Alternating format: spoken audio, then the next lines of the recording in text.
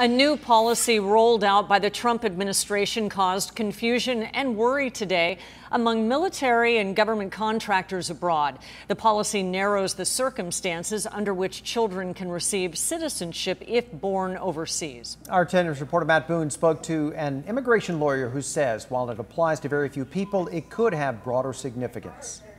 Yeah, Steve Kimberly, when this came out earlier today, there was some confusion. Some people even thinking it applied to all U.S. service members abroad. That is not the case, but it does still apply to a small subset of U.S. workers who will now have to go through a lengthier process to get citizenship for their children.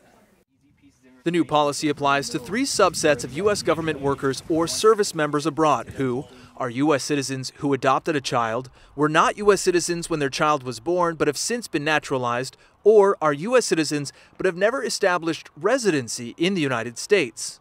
Under the new rules, you, they have to come back to the U.S. before the child is 18 and apply for a very complicated process, N600K, which is going to be you know, it's going to take more than a year. Jacob Sapochnik is an immigration attorney. He says the N600K is faster than other naturalization processes, but can still be expensive and time consuming.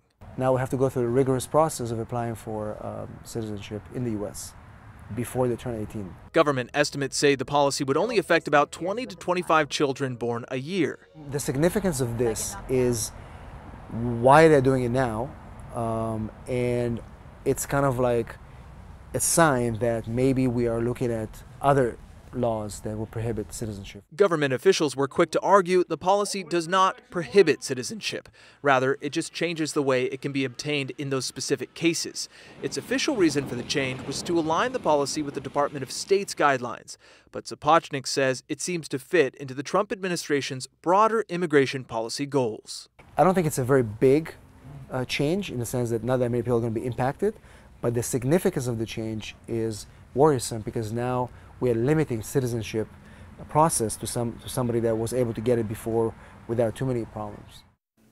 And to emphasize all this again, the acting director of the USCIS, Ken Cuccinelli, went to Twitter this afternoon saying once again it only affects children who were born outside the U.S. and were not U.S. citizens. He also added that this does not impact birthright citizenship. In the Live Center, Matt Boone, 10 News.